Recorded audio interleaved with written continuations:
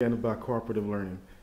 Um, Okay, I'm yeah, Cooperative learning Yeah, yeah. is basically setting up an atmosphere in, in um, a curriculum or um, club that people learn from each other and, and learn and can um, play off of each other's strengths. Um, Austin's strengths, uh, actually very good with the computer. He can come up with images like this. Hmm. Um, very quick thinking. Um, Michaela, lots of energy, just lots of sugar in the morning. Jesus, we're gonna go. But very enthusiastic, wanting to jump in color and all. And Rob, um, the older, uh, one of the older um, veterans here, great detail. He Okay. understands what needs to be done to finish something.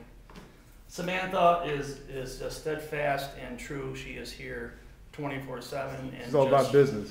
all about business. Good, So, good. Samantha comes up and she stands here and shows, all right, people, time is money, time is money, let's move on. She, She says that T is off by sixteenth of an inch. yes, yes, Wow. she in the vein.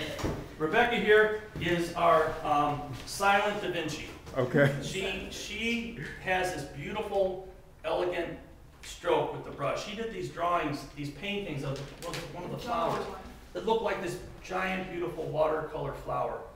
And, and she just, just has this touch to it. And uh, she is an artist, no doubt about it. Just, and this is when we need her. We need everyone's. If everybody was talking as much as Michaela, we would all fall over.